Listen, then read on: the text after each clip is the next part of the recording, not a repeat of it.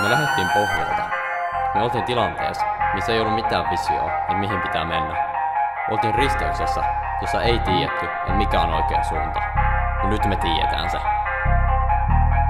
Viimeisen puolentoista vuoden aikana Jumala on näyttänyt mulle laajan kuvan, joka johdattaa mua lähemmäs Jeesuksen tuntemista. Laajan kuvan, joka näyttää, miten Jumalan sana oikeasti muuttaa ihmisen, kääntää täysin sen, miten tämä maailma toimii. Ja mä tiedän, että meillä kaikilla on rooli siinä. Sehän on elämän ultimaattinen päämäärä, mennä sinne, minne Jumala johdattaa. Ja mä uskon, että tämä laaja kuva on se, minne mua johdatetaan.